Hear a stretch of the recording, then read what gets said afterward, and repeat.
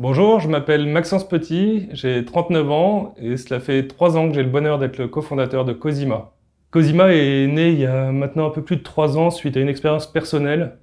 euh, liée à ma grand-mère qui a fini ses jours en, EHPAD. Et cette expérience m'a donné envie de créer des lieux de vie euh, à taille humaine destinés à ces personnes âgées qui ne peuvent plus rester chez elles, qui se situent entre le domicile traditionnel et l'établissement type EHPAD en essayant de proposer une solution euh, plus intimiste, euh, sécurisante, avec un accompagnement 24 heures sur 24, euh, dans des lieux de vie qui se situent dans des immeubles d'habitation classiques, en cœur de ville, en Ile-de-France et dans le quart sud-est pour l'instant. Cosima va écrire une nouvelle page de son histoire après les trois premières années qui nous ont permis de nous structurer et d'ouvrir un premier pilote